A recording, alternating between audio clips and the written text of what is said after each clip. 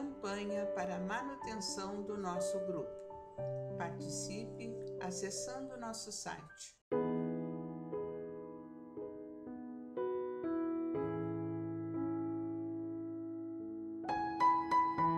Olá, amigos, olá, irmãos que nos acompanham nesse canal do Grupo Espírita Francisco Xavier, o momento das reflexões diárias.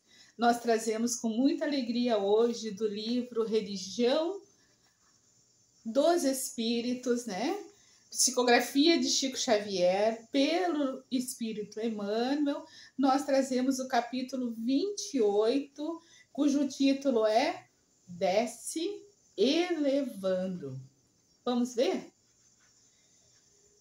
E esse capítulo foi desenvolvido a partir da reunião pública que aconteceu dia 20 de abril de 1959 e trata sobre a questão 1018. Desce, elevando aqueles que te comungam a convivência para que a vida em torno suba igualmente de nível. Se sabes, não firas o ignorante. Oferece-lhe apoio para que se liberte da sombra.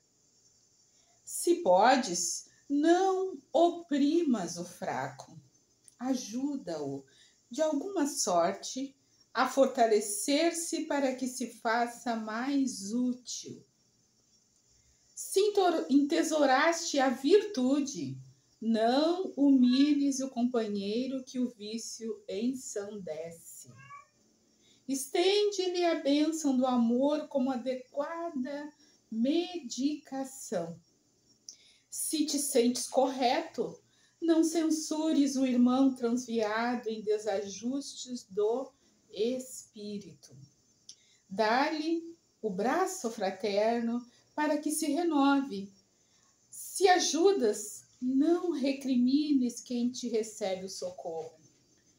Pão amaldiçoado é veneno na boca. Se ensinas, não flageles quem te recebe a lição. Benefício com açoite é mel em taça candente.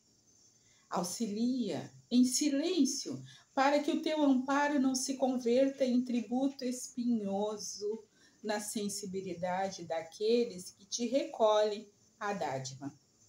Porque toda caridade a exibir-se no palanque das conveniências do mundo é sempre vaidade em forma de serpe no coração e toda modéstia que pede o apreço dos outros para exprimir-se é sempre orgulho em forma de lodo nos escaninhos da alma.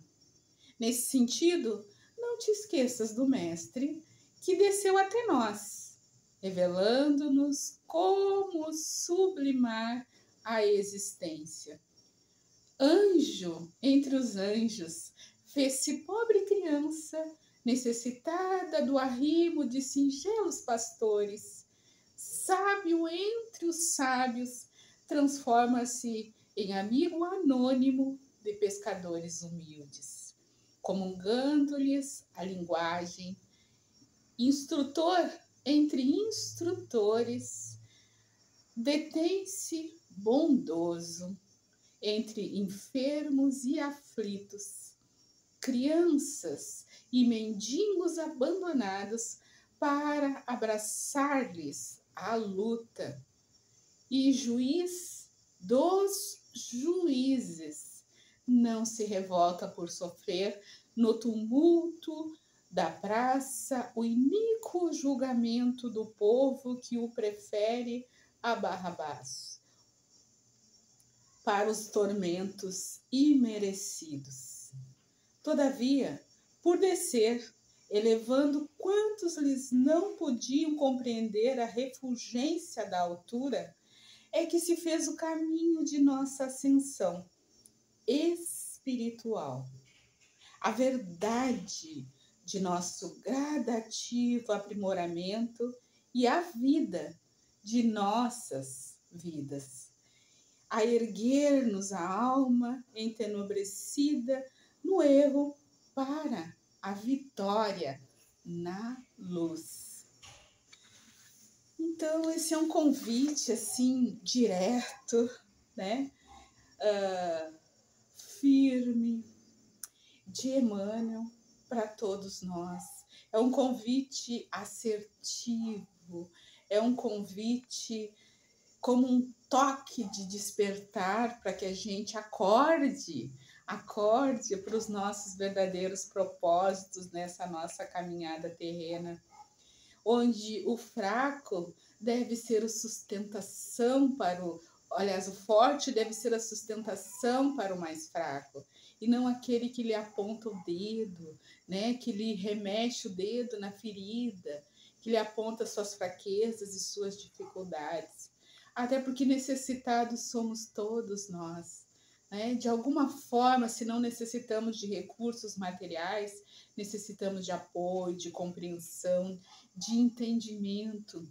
Necessitamos de valorizar a nossa vida, necessitamos de compreender melhor qual é a vontade de Deus para nós.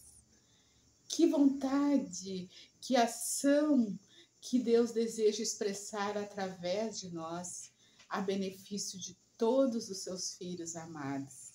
Jesus foi fiel a Deus, foi fiel àquele projeto que ele elaborou junto ao Pai. Se doou sem reservas, um amor incondicional, não é? Por todos os filhos de Deus, compreendendo aqueles que não o compreendia, com todas essas faculdades humanas desenvolvidas ao nível máximo, ele ainda assim, e até por isso, conseguia entender a nossa infantilidade, o nosso primarismo, o nosso imediatismo, ao nosso apego às seduções da matéria e, e mesmo assim lançava suas redes, buscando pescar homens para esse novo nível de consciência, para essa nova forma de nos relacionarmos uns com os outros como irmãos, né? nos alertando sobre a necessidade do perdão sem limites, do amor a Deus acima de todas as coisas e os espíritos respondem a Kardec que Deus, Deus é a inteligência suprema e a causa primária de todas as coisas.